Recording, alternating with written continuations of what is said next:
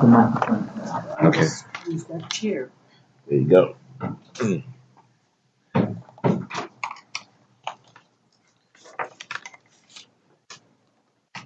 Miss Rose, we're glad you're here. All right.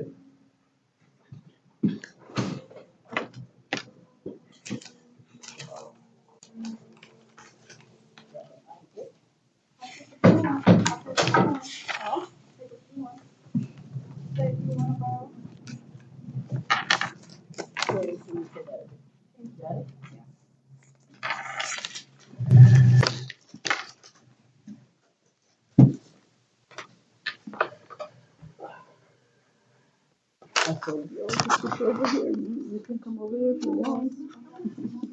You all good? All right, for everyone tuned in, we will be getting started with Total Victory Christian Center Bible Study in just one minute. We're being led tonight by Pastor Alan Holt.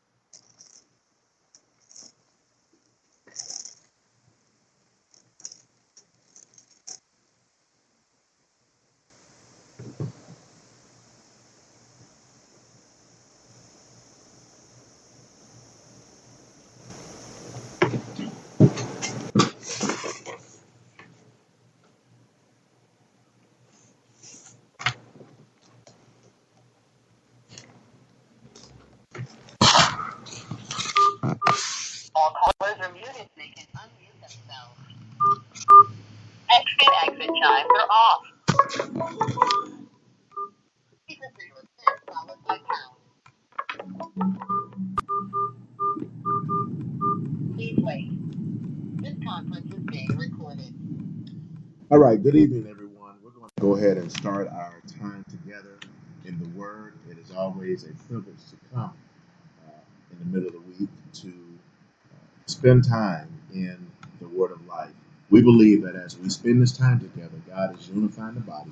and He's bringing faith in our lives that we might collectively, through individual worship and corporate worship, do great and greater works. So let's pray. Father, we just thank you for the opportunity to come together to uh, to study that we might be approved in the things that you're calling us to do. We pray now that as we look to your word, your word will look back at us and reflect that which is pure and right for our lives. Uh, we trust you, God, and we look to you now to lead us and guide us in the way in which we should go. So bless this time, we pray in Jesus' name. Amen. All right, we're going to uh, begin to shift a little bit in, in our series, if it were. And I, I shared with you guys last week that, you know, again, as we continue to look at the Word and we examine ourselves, we're going to see things and learn some things about ourselves that maybe we could not see before. And that we also have a obligation or responsibility to show up and to be uh, the people that God has purposed us to be.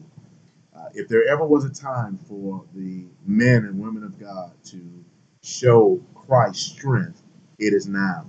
If there ever was a time for us to share the good news, I mean, you turn on the news and it's it's one tragic story after the next, and uh, always crisis happening around us. That Christ is the Savior of the world, and that it is our responsibility to share the good news. Uh, I love what it says in the book of Romans when it talks about how can people believe unless there's a preacher, and the preacher is not in that context uh, the platform or the preacher behind the pulpit.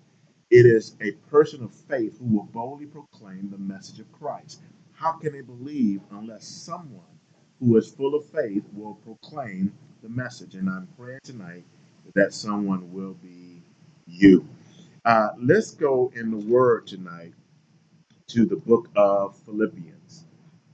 And we're going to start in Philippians chapter uh, 1. I'm sorry, let's go to Philippians chapter 2. And we'll read several passages and then we will transition into uh, quite a few more. Okay?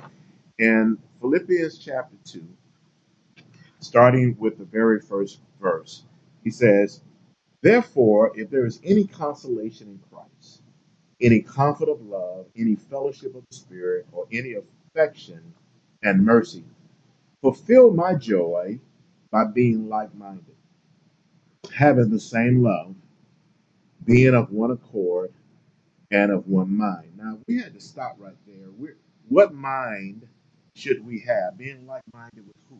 Being like minded with the saints? Being like minded with our brothers? Uh, having the same love as our brothers? Being on one accord with them? Or is the uh, challenge here that we have the mind of Christ? We have to be minded or like minded with the great mind, if it were, or Christ's mind. And the reason we know that it's Christ in this particular passage is in verse number one. He refers to Christ and the consolation in Christ and the comfort of his love and the fellowship of the Spirit. That in verse number two, we fulfill joy, his joy, by being like minded. So Christ receives joy when we have his mind. So how do I get his mind? How do I how do I think like him? You know, it, it is uh, commonly said that more time you spend with someone, the more there is a transference, if it were, to where they begin to rub off on you. Uh, you begin to finish their sentences, if it were, because you've spent so much time together. They can start it and you can finish it because you know what it is they're going to say. Well, if I were to challenge us tonight and say, okay, let's go to this passage and let's start the verse and all of a sudden quickly remove it from your sight, would you be able to finish the statements of Christ? Would you be able to conclude his intent? Would you be able to share exactly what we shared? And, and there is no way of doing so unless you spend quality time with the person that you love. And in this passage, we're we're we're implying that there's a love for Christ and His Word, right? So He says, "Make my joy complete." And in this life, we also understand that many of us want joy, and the Bible refers to the joy of the Lord as our strength. We want to be happy, God wants to be happy too. Christ wants to be happy with us. Christ wants to be satisfied with how we live, how we approach, how we love, and how we uh, share truth one to another. And there are certain things that really bring him glory. He says here, fulfill my joy. Here's how. Number one, by being like minded. Having his mind, thinking like he thinks, approaching opportunity like he approaches opportunity, being considered as he is considered, being caring and compassionate as he is compassionate. And he says here, here we go, being like minded, having the same love. Now, how can I have his love or the same love if I don't have the same mind? And, and the honest answer is that we cannot. I mean, if we're not thinking like he thinks, we won't do what he does. We can't care to the same degree that he cares. We, we can't express our, our passion and our love the same way without having the same mind. So it is an exhortation here for us to have this mind so that we might demonstrate the same level of love. There's another translation for this word love here, and it talks about sacrifice, a sacrificial uh, action. You know, how can we demonstrate sacrificially that love is our motive without having his mind as our motive? We must have the mind of Christ. Let's read further for those that are catching up with the theme of where we're going here. Fulfill my joy, being like minded, having the same mind, being of one accord. Okay, being of one accord. There's another word there for accord that means uh, being in harmony, having uh, in, in a, something that's harmonizing. It makes a beautiful sound.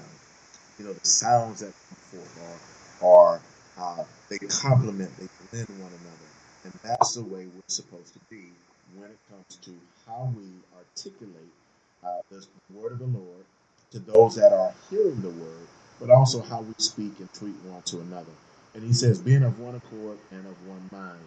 Now, if we get his mind, we'll get his love and we'll be of one accord. The things that we say will be things that he says. What did Christ say to those that were there? He said, I only speak what my Father speaks. I only uh, do the things that I see him doing. And that level of discipline comes when you spend quality time with someone.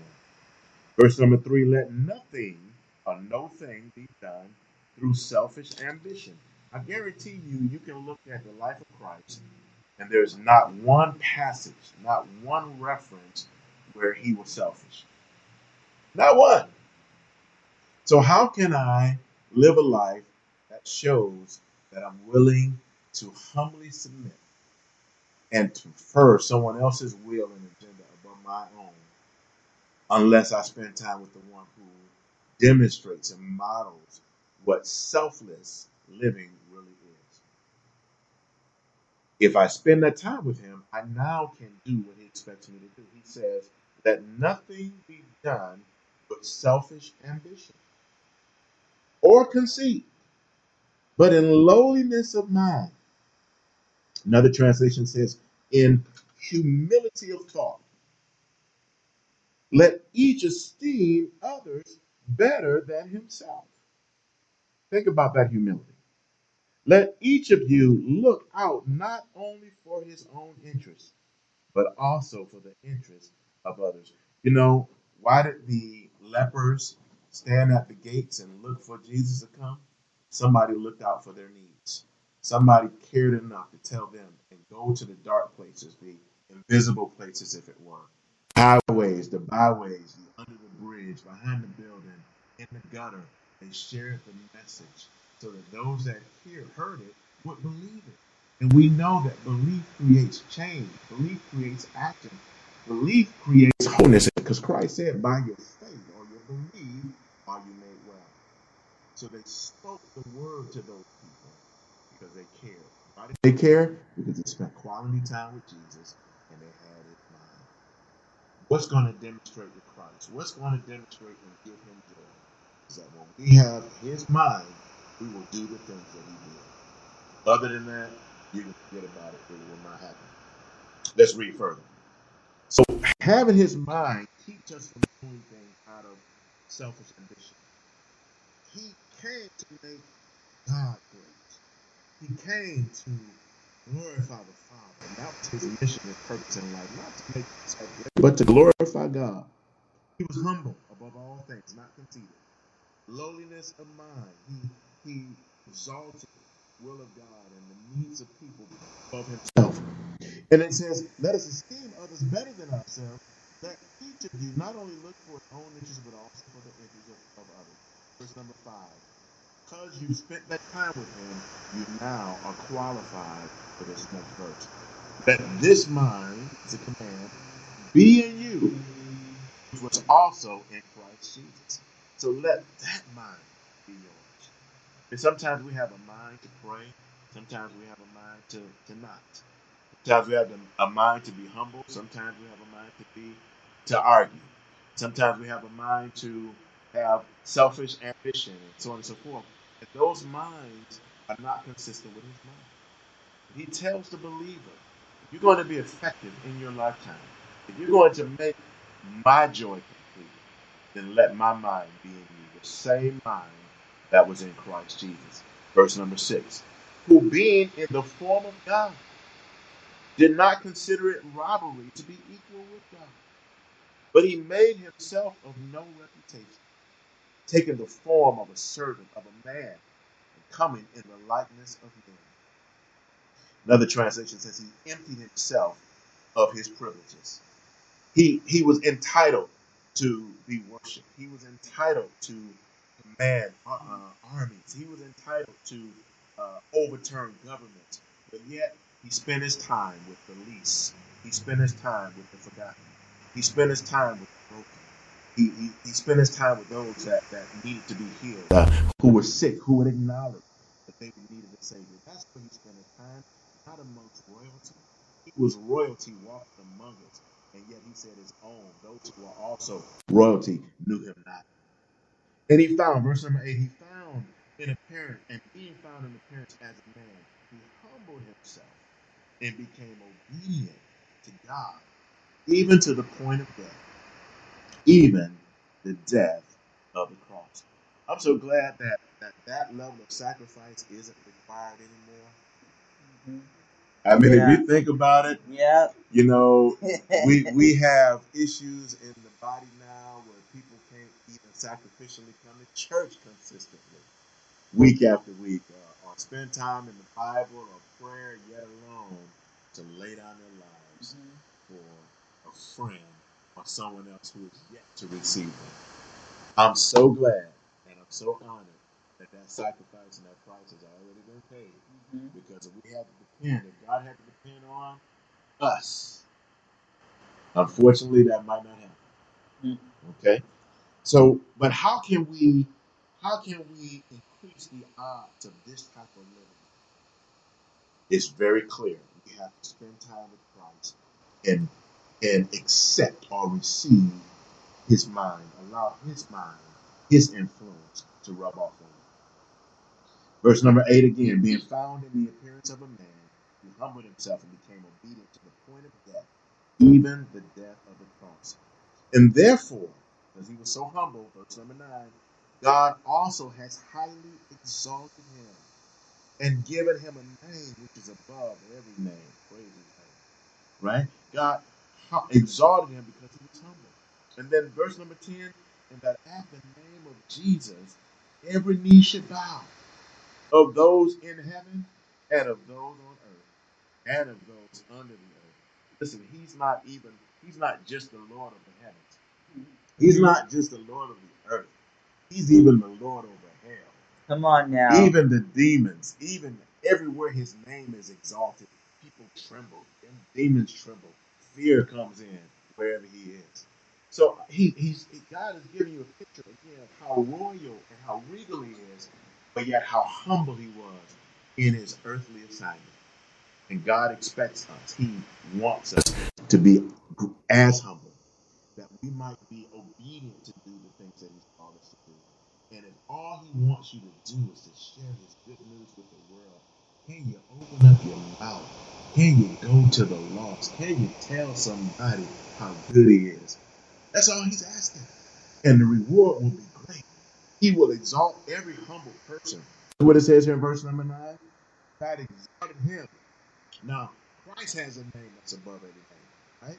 At the name of Jesus, every knee bows, those in heaven, those on earth, and those under the earth, that every tongue should confess that Jesus Christ is Lord to the glory of God the Father. Mhm. Okay? This is, this is the will of God concerning us. And we need to honor that in our lifetimes. Let's not wait. Let's do it now. Okay? Now, let's transition in, in scripture. Well, let's go over to the book of Philippians. We're going to look at a couple different verses as we continue to build on some things. I, I want to show you something that uh, I really believe will bless you. We're in Ephesians chapter 5. Ephesians chapter 5.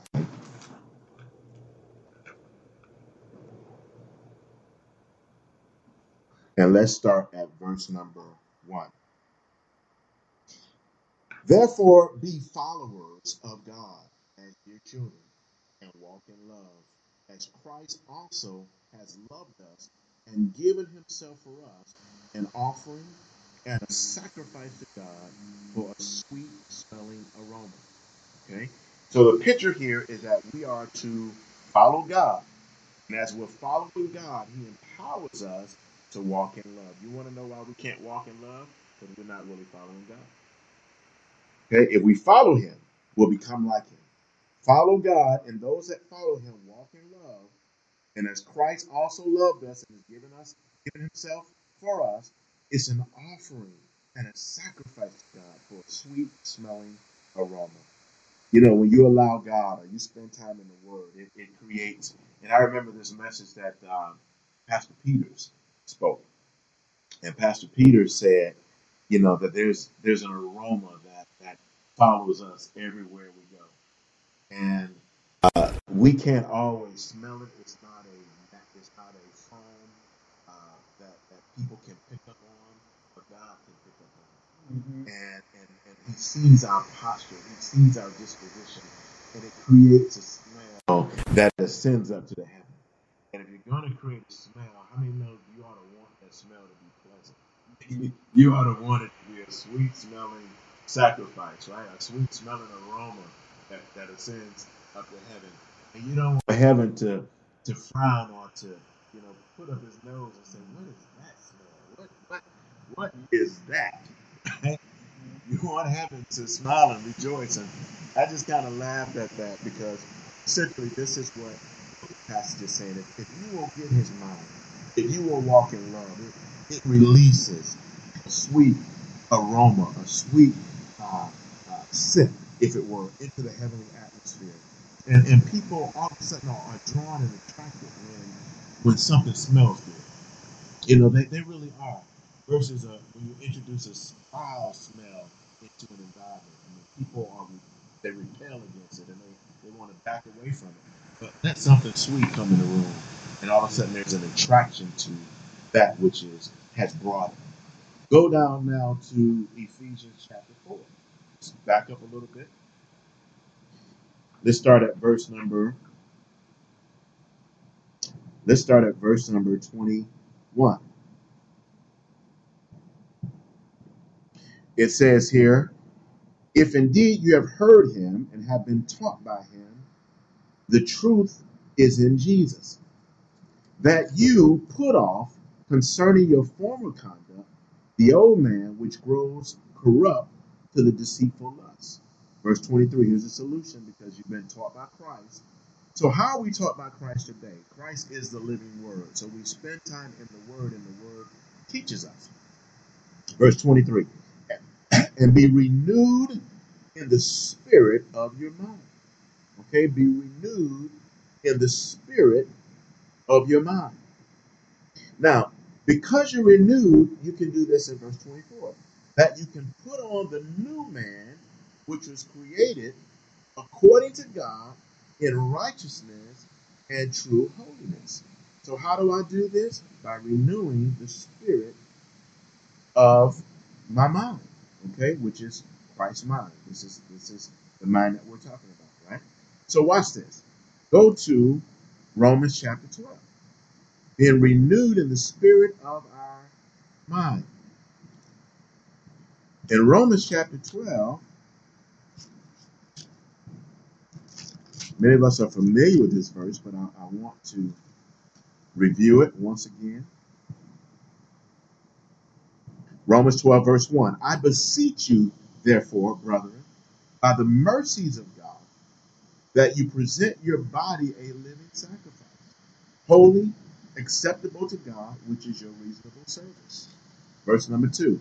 And be not conformed into or conformed to this world, but be transformed by the renewing of your mind, that you may prove what is that good and acceptable and perfect will of God. Okay? So you don't know the will of God, nor can you prove what it is in your life without first being transformed. It requires transformation is a requirement. It is a prerequisite. It must be met in order for us to know the will of God. Now, watch this. People will say, and many believers or churches, as I like to call them, will say, I don't know the will of God for my life. I don't know what He wants me to do. Well, you'll never know unless you first transform. Unless there's a transformation that happens where He sees you as the old has passed away and all things have become new. And when you see yourself that the old has passed away and all has become new, unless you meet that criteria, you'll never be in a position to know what is good and acceptable and perfect will of God.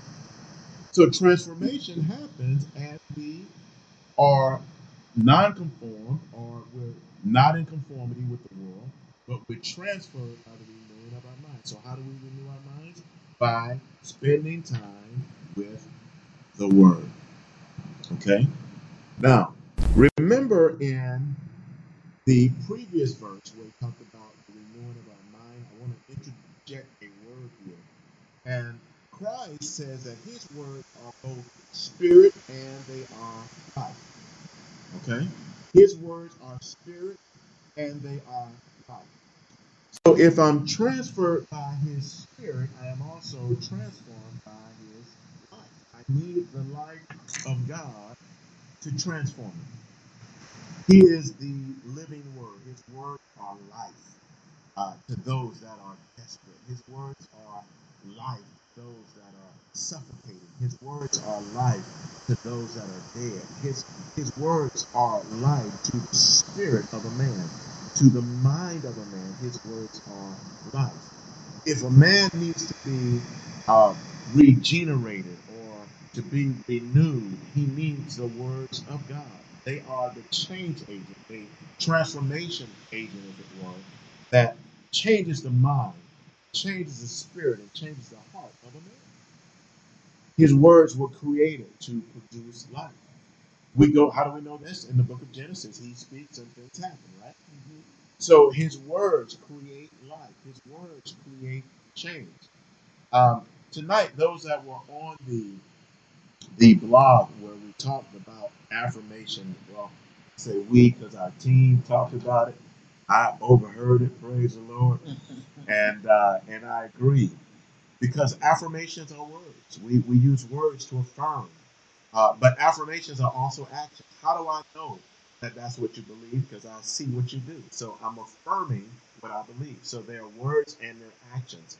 It sounds like faith because the Bible says faith is is belief in action. It is trust in action. It is that which we demonstrate, uh, tells the world or speaks what we believe. So Christ knows that if He speaks the word, then what, that which is spoken is going to happen. The problem is He's trying to convince us that what He says is going to happen. But the more we spend time with Him, the more we know that what has been said is exactly what's going to happen. I love the, and, and I'll conclude with this tonight, the centurion that uh, had a, a discussion with Christ. And uh, he said, Jesus, I have a servant at home that's not well. And Jesus said, Well, if you need me to come, I'll go to your house and uh, I will visit him. And the centurion leader said this He says, I'm a man under authority. And I tell my servants to do this or this one to go, and he goes. And, and I don't think twice about it. I know that it's done based upon the authority that I have and their respect for my word. They do what I command them to do. So he says, Because I respect authority, and I'm a man under authority, and I know you're under authority, you just speak the word. You don't even have to come to my house. Just speak the word, and I know it shall be so. Hmm. And Jesus says, He was marveled that this centurion understood how the kingdom works. Mhm. That all it takes is somebody just accept him at his word, believe his word, and it releases miracles in the atmosphere. Tonight, as we are hearing the word, and there's another concept I'll introduce to you next week about the same word, which is what, where we get affirmation comes from. It comes from a Greek word that, that is uh, defined as is homologeo, which means same logos, the same word. So when we speak the same word that he spoke, it has the same power in which he spoke it. They aren't just words, they go out to achieve that which Mhm. they were sent to do. And if we are to represent him, we must have not only the same word, but we must need the same, we must have the same mind. If we have the same mind, we'll speak the same word with the same faith that it was spoken to us. Mhm. And when we see it demonstrated and carried out in that same measure, we're going to get the same result that he himself Mhm. received. So we must spend that time with God in order to be transformed. As our mind is transformed, our words are transformed, our results will be transformed. People will be standing by saying, I'm looking for Jesus to come by, and they will be healed. Okay? Mhm. Some of the things that are happening in our society today will not change until the church stands up and takes this mind this word to the world, to the world around them, to their community, to their family, to their co-workers. When we stand up, things will change, but it takes transformation so that we will have the same mind, the same love, the same works, the same word, And here's the good part, guys the same results. Father, we thank you now for the word of the Lord that uh, we believe and trust in. And I pray that uh, as we have looked at your word tonight, you will empower us uh, to speak the word with boldness, not as a clanging sound or a cymbal that's out there, but know that the message that goes forth comes forth through love because we have a heart and a mind to love because we have your mind.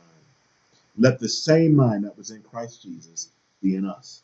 And as we take that mind, we know that the outcome is not only great results in our lifetimes, but we bring you great joy. Father, be, be receive joy from how we live. Be glorified. Be honored in how we live our lives each and every day. How we uh, take your image to the world. How we carry out your likeness. How we present you. We pray, God, that there will be a great uh, move of faith that will break forth that there will be a, a new passion in the earth realm where people will change that comes from above. And Lord, we realize that the only way that's going to happen is if we, who are like Christ, are obedient to take the, the message to the people. So help us to do that, God. Help us to find opportunities and respond to opportunities. Just like the people who took it to the lepers, let us take it to those who are leprous around us, those who are sick, those who are hurting, those who are desiring uh, change, those who are hungry for truth, those who are blind that want to see, those that are lost that are looking to be found, those who are in bondage that want to be delivered. Help us to bring to our families that everyone that we love might know you, and might love you and serve you. Father, let none of the people we care about be lost. Just like if you cared enough to, to seek us, we, we now bring the message to them because we believe you are planting, you are watering, but you are prepared to. Let that level of increase and outcome be ours, and let us see it and share it together. We love you, God, and we praise you now for what we've seen, what we're hearing in your word. Let it be so in Jesus' name. Amen. Have a good night, everybody. We look to see you guys in church early on Sunday, 1045. Put the put it in your calendar. Be on time, 1045, so we can start right at 11 a.m. sharp. Y'all be blessed. Have a good night.